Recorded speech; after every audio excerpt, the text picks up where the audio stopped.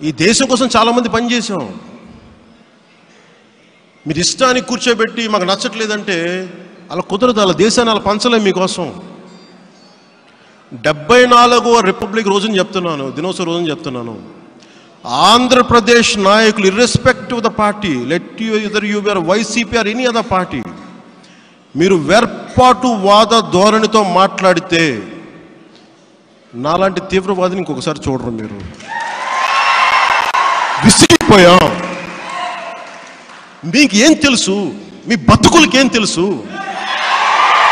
వెళ్ళారా మీరు? ఒక్కసారి కాన్స్టిట్యూంట్ కాన్స్టిట్యూయెంట్ అసెంబ్లీ డిబేట్స్ చదివారా? కరప్షన్ గురించి మీకు కరప్షన్ చేసిన మునిగిపోయిన మీకు పబ్లిక్ పాలసీ తెలియని మీకు రాష్ట్రాన్ని విడగొట్టేస్తారు? మీకు అధికారం లేకపోతే మేము చూస్తూ కూర్చుంటావా మేము?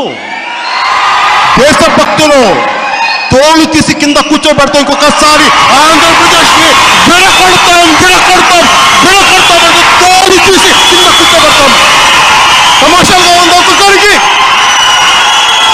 విసిగిపోయాం సన్నాసులతో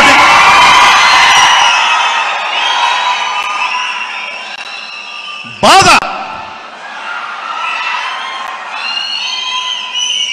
మా నేల మా నేల కాదా ఇది మా దేశం కాదా ఇది మేము కాదా ఇది కూర్చోబెట్టి. రాయలసీమ రాయలసీమ అంటారు ఏం చేశారు రాయలసీమకు మీరు? ఎంతమంది ముఖ్యమంత్రులు రాయలసీమ నుంచి వచ్చారు? రాయలసీమను మీరు ఎందుకు కాపాడుకోలేకపోయారు? రాయలసీమ కర్నూలు నుంచి ఎందుకు ఎందుకు వాసన వెళ్ళిపోయినారు ఎందుకు ఆపలేకపోయారు?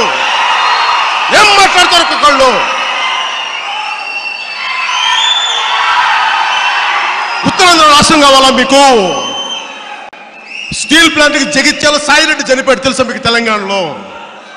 గుంటూరులో హబీబుల్లా మస్తాన్లు చనిపోయారు. తెలుసా మీకు ఆ సంగతి? వైజాగ్లో స్టీల్ ప్లాంట్ కావాలంటే గుంటూరులో ప్రాణాలు చచ్చిపోయినాయి ఇక్కడ. ఇంతమంది ప్రాణత్యాగాల మీద ఉంది రాష్ట్రం. మీ కన్వీనియన్స్ కోసం మీ ఇష్టారాజ్యం కోసం పిచ్చి పిచ్చిగా స్టేట్మెంట్లు ఇవ్వకండి. చాలు. రాష్ట్రాన్ని ప్రజల్ని విడగొట్టింది చాలు. ఇంకా ఆపేయండి. ఆపేయండి ఇంక ఇక్కడితోటి.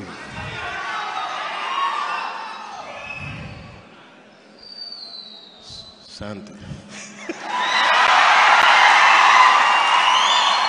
ఇది మీరు ఆలోచించండి ఇది. ఇది నా కోపం కాదు నా ఆవేదన. విభజన పంజాబ్ డివిజన్.